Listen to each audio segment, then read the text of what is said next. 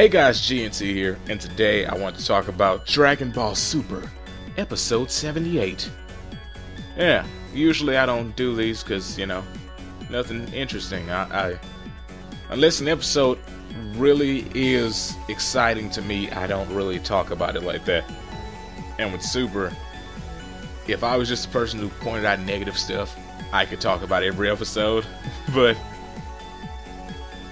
I look for positivity.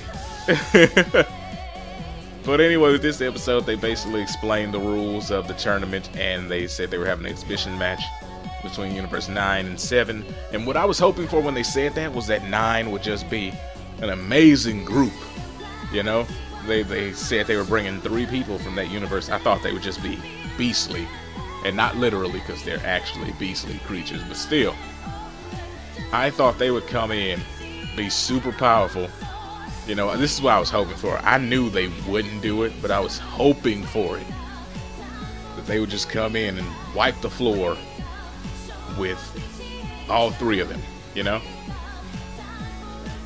And that way, it would set up some type of, you know, fear that Goku and his squad can actually lose, you know? Like, that's always the problem with anime like this you think, hmm, it's, it's, it's, it's Goku. There's no way they're gonna let him just, you know, lose. But when you add in people who mop the floor with Goku, it's like, haha. It's it's it's like when they fought um uh friggin' Zamasu. Zamas, however you want to say that. And you know, they were beating the crap out of these guys. You're like, ha ha, awesome. Or at least I was like, haha, awesome. I like the black Goku way better than regular Goku.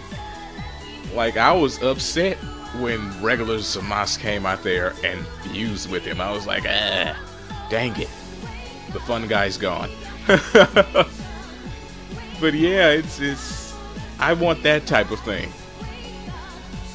Like, for the initial thing, they show you these guys are going to be super powerful.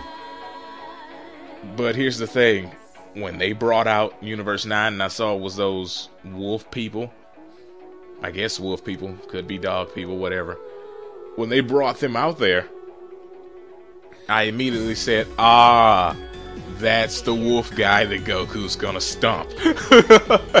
that's the wolf guy that Goku is going to beat into the dirt. You know, and that's it's a little bit disappointing even with this first match that they started, the guy versus Boo, it looks like this guy's weak, you know? It's, uh, there's no real feeling of, I think Boo might lose, you know? There's zero chance of Boo losing unless something stupid happens. Like at first when they started and he was asleep, I was like, oh no! That means they're gonna throw Gohan out there first, and he's probably gonna lose his match. But they woke him up, and he went to fight. Huh. it's it's I don't know. I guess it'll be entertaining to watch.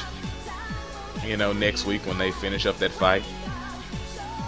But goodness, I'm not all that excited. I'm sorry, just just not. I'm more excited for the regular tournament now because that's when we'll see the people that can actually put up a decent fight. It's unfortunate, but that's the way it's gonna be. And I see why they didn't bring Vegeta, because Vegeta's like at Goku level of there's not many people that will be able to beat him, you know? By bringing Boo and Gohan, which I'm a big Gohan fan, but I know that Gohan is not anywhere near of level to be important. Like most of the people that they're bringing for this tournament aren't of a level of power that should be, you know, seen as important. So you know that a lot of people are going to be weaker in order to fight these characters that you're bringing in. Like who the flip? How could an enemy that's at Goku's level ever, I mean ever lose to Krillin? You know? So it's just, uh, it's kind of sad. Not really.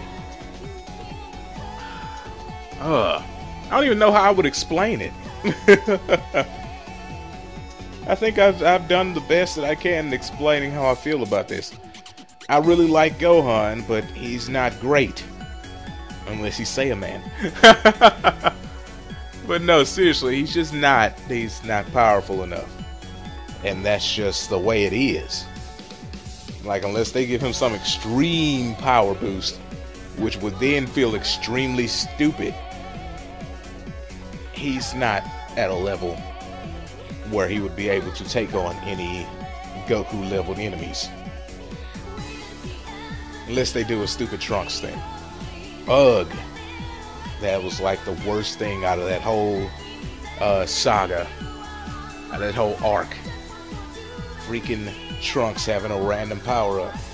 And that's what, what would screw up the whole Gohan thing. But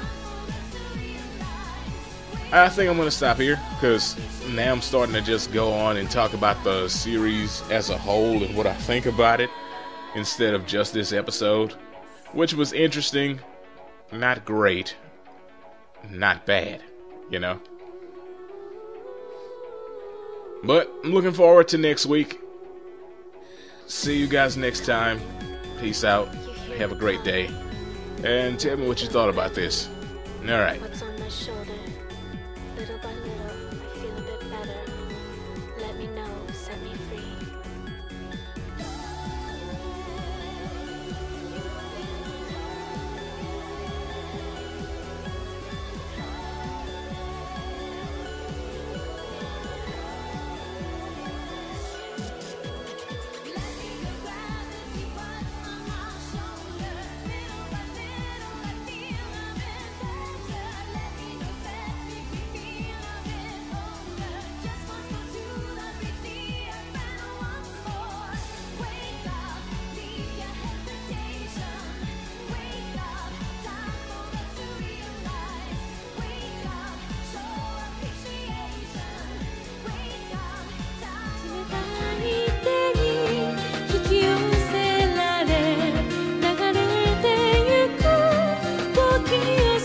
心。